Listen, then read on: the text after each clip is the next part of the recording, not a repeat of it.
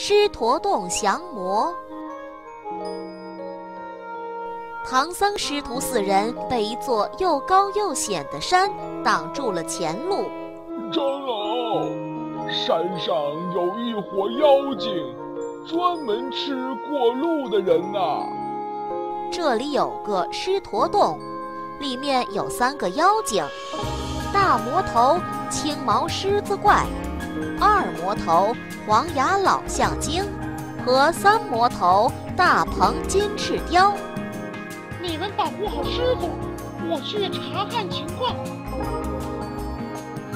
就见一个巡山的小妖走了过来，提防孙悟空，他会变苍蝇。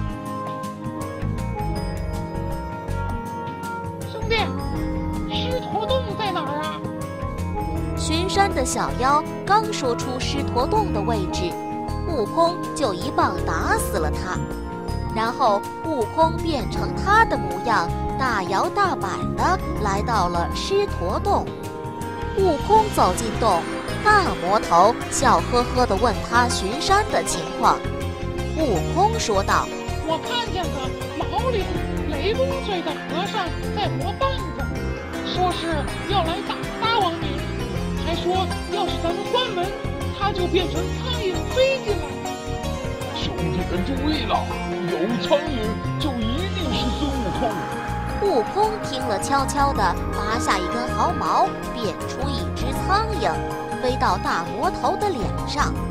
这下可热闹了，洞里的小妖们都拿着哨子追打起苍蝇来。悟空在一边看着，忍不住笑出了声，不小心露出了他的雷公嘴。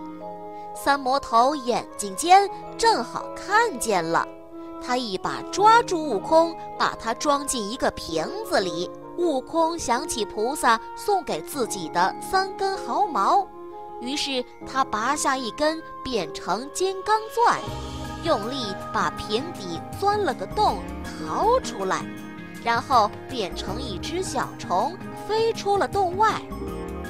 随后，悟空带着八戒来打妖怪，大魔头带着兵器冲了出来，八戒拿起钉耙就朝妖怪砸了过去。大魔头现出本相，张开大嘴就要吞了他，八戒吓得赶紧钻到了草丛里。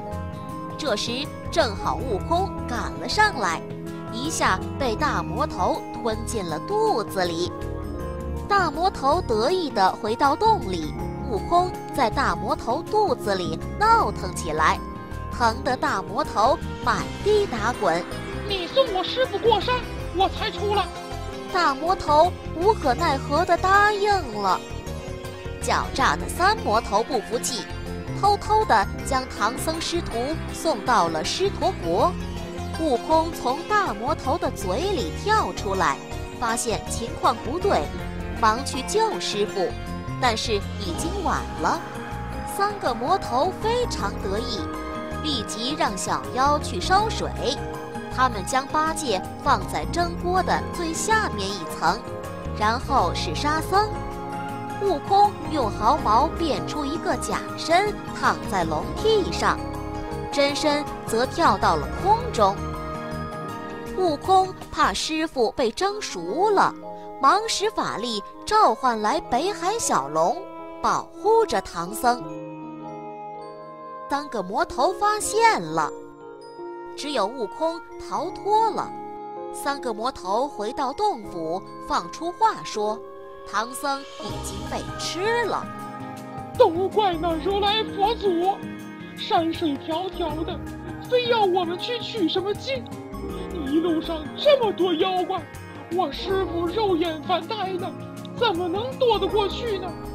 他架起筋斗云就去找佛祖理论。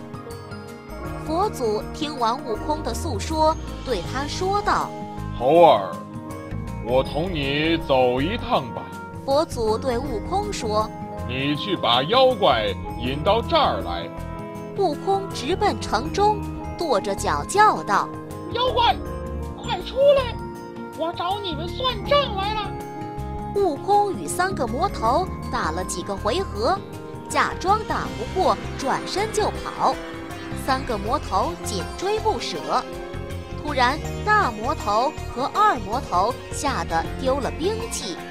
原来，看见自己的主人，就立即现出了原形。